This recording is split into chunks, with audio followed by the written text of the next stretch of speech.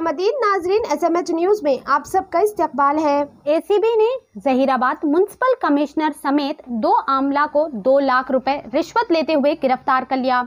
Anti corruption bureau ACB ने चारशंबे के रोज Zaheerabad municipal commissioner Subhash Rao Deshmukh, manager Manohar और अटेंडर राकेश को इस वक्त पकड़ लिया, जब वो मुबीना तौर पर एक मोहम्मद निसार उद्दीन से दो लाख रुपए की रिश्वत ले रहे थे। निसार उद्दीन ने म्यूनसिपैलिटी हदूद में एक नया मकान खरीदा था, जब इसने म्यूनसिपल रिकॉर्ड में अपना नाम बतौर मालिक ज़ाहिर करने के लिए जायदाद की तब्दीली के लिए म्यूनसिपल अहकाम से रुजू किया तो म्यूनसिपल ऑफिसरान ने मुबीना तौर पर दो लाख रुपए की रिश्वत तलब की। निसारुद्दीन ने एसीबी अहकाम से रबता किया, जिन्होंने चारशंबे की शाम जहीराबाद म्यूनसिपल ऑफ़िस में तीनों को पकड़ लिया।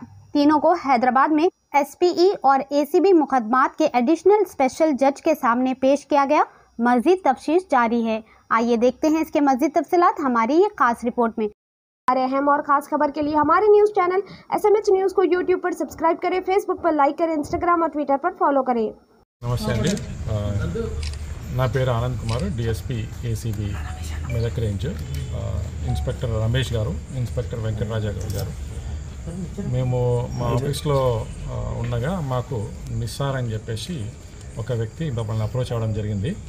ఆయన ఏమంటే ఒక ఇల్లును కొన్నాడు ఇక్కడ జహీరాబాద్ లిమిట్స్లో. ఆ ఇల్లు కొన్న తర్వాత ఆ ఇంటి పైన రిజిస్ట్రేషన్ అనేది వాళ్ళ ఓనర్ ఎవరైతే ఉన్నారో ఆయన ఈయన పేరు పైన రిజిస్ట్రేషన్ చేయడం జరిగింది. జరిగిన తర్వాత మ్యూటేషన్ ప్రాసెస్ కోసం అని చెప్పేసి ఇక్కడ అప్రోచ్ అవ్వడం జరిగింది. ఇక్కడ జైరాబాద్ మున్సిపల్ ఆఫీస్లో అప్రోచ్ అవ్వడం జరిగింది. దానికి తగ్గట్టు అప్లికేషన్స్ అవన్నీ కూడా ఆయన పెట్టడం జరిగింది. పెట్టిన తర్వాత ఏమైందంటే ఈ ఆల్రెడీ ఈ యొక్క ఇంటిని వేరే వాళ్ళు లిటిగేషన్లో ఉంది దాంట్లో వేరే వాళ్ళ పేరు చూపిస్తుంది అది అని చెప్పేసి ఆయనకు చెప్తే మరి నేను ఆల్రెడీ నేను లీగల్గా ఉన్నాను కదా మరి నాకు ఈ ప్రాసెస్ ఎట్లా ఉంది చేయండి. అంటే దాన్ని చేయడానికి దాదాపు మూడు లక్షలు ఖర్చు అవుతుందని చెప్పేసి ఇక్కడ ఉన్న మేనేజర్ గారు చెప్పారు.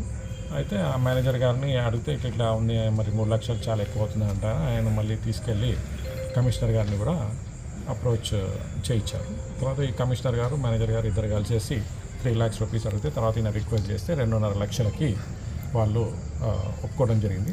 దాని తర్వాత ఆయన రెండున్నర లక్షలు అరేంజ్ చేసుకొని ఈరోజు వస్తే ఇక్కడికి వచ్చిన తర్వాత మళ్ళీ మేనేజర్ గారు ఏమంటే రెండున్నర లక్షలు లేదు ఒక రెండు లక్షలు ఇస్తే సరిపోతుంది అని చెప్పి చెప్తే ఆ రెండు లక్షలు ఆయన చెప్పిన వ్యక్తి ఎవరైతే ఇక్కడ ఒక మనోహర్ అని ఉన్నాడు అటెండరు ఆయనకి ఇవ్వమని చెప్తే ఆయనకి రాకేష్ అనే అటెండర్ ఉన్నారు. ఆయన రాకేష్ అనే అటెండర్కి ఇస్తే ఆ రాకేష్ అనే అటెండరు ఆ డబ్బులు ఆన్ బిహాఫ్ ఆఫ్ కమిషనర్ గారు తర్వాత ఈ మన మేనేజర్. మనోహర్ గారి తరపు నుంచి తీసేసుకొని ఆయన దగ్గర మేము రెడ్ హ్యాండెడ్గా పట్టుకోవడం జరిగిందండి ఈరోజు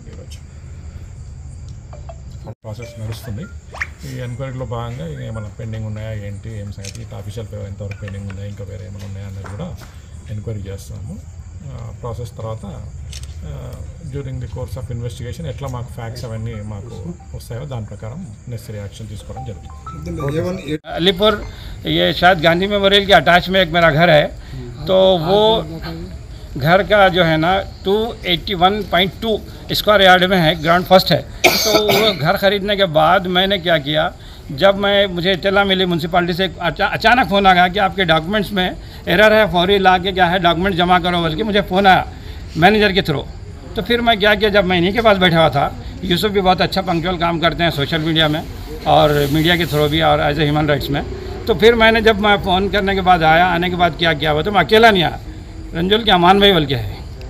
उनको साथ में लेके आके मैनेजर के साथ में बात हुई मेरी। तो मैंने उनसे ये कहा देखिए आप अगर मेरे डॉक्यूमेंट्स में अगर एरर है कुछ गलती है मेरे से गलती हो रही तो मुझसे बॉन्ड लिखवा लीजिए और मुझे हथकड़ी लगा दीजिए। मैं आपकी बात को तस्लीम करता हूँ आप जितना टाइम चाहिए लीजिए। तो वो उन्होंने कहा मुझे कि आप तमाम डॉक्यूमेंट्स घर के ला के जमा कर दो। तो फिर मैंने क्या किया एक विथ एप्लीकेशन पूरे एग्जीक्यूशन के साथ पूरे डॉक्यूमेंट जमा किया मैं। जमा करने के बाद क्या हुआ फिर? कमिश्नर से फिर मेरी लगातार बात होते रही। दो तीन बार अप्लीकेशन दिया मैं।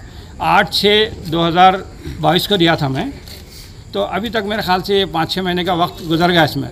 तो इसके दरमियान में मेरी कमिश्नर से, मैनेजर से रोज़ाना इतना आता था कि म्यूनसिपालिटी के मैं समझता हूँ, चपरासी से लेके बड़ा हायर ऑफिसर तक सब मुझे जानते हैं। तो इसके बाद यह हुआ कि मुझे, मैं मतलब मुझसे एक ब्राइब पूछा गया, एक लाख का। तो मैं उसके लिए राज़ी होगा तो उसके बाद यह हुआ कि मैं यूँ ही मैं देखता हूँ कि अगले वाला कुछ और ज़्यादा अमाउंट दे दे के असेसमेंट और मोटेशन अपने नाम पे कर लेता फिर वो अर्जी वहाँ पे एस ऑफ़िस के पास दे देता। तो फिर मैं वहाँ पे जाने के बाद क्या किया एस ऑफ़िस में एक हज़ार रुपये की चालान भर के मैं क्या किया प्रोटेस्ट पिटीशन दिया वहाँ पे। फिर एक कॉपी क्या किया मैं एस के पास यहाँ पर दिया जहराबाद जहराबाद में। तो उन्होंने ये कहा कि हम इसके बारे में क्या है तहकीक करेंगे। पहले क्या है म्यूनसिपाली का असेसमेंट मोटेशन दुरुस्त करके आइए।